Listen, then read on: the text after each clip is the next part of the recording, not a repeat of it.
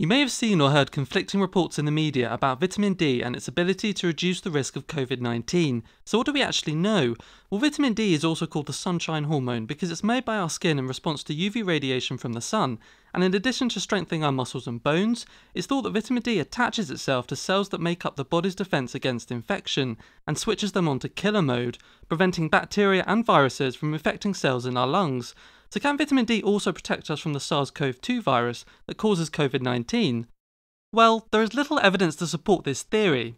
Data from over 46,000 people used in 42 studies worldwide was put together, and interestingly, it showed vitamin D supplementation had a modest but significant protective effect against lung infections caused by bacteria and viruses, but we can't prove whether this protective effect necessarily applies to SARS 2.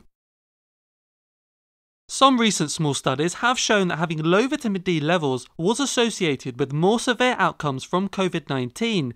In addition, those at most risk of being vitamin D deficient, including elderly and nursing home residents, people living with obesity, and people with darker skin, such as those from black and Asian ethnicities, have been worse affected by the virus.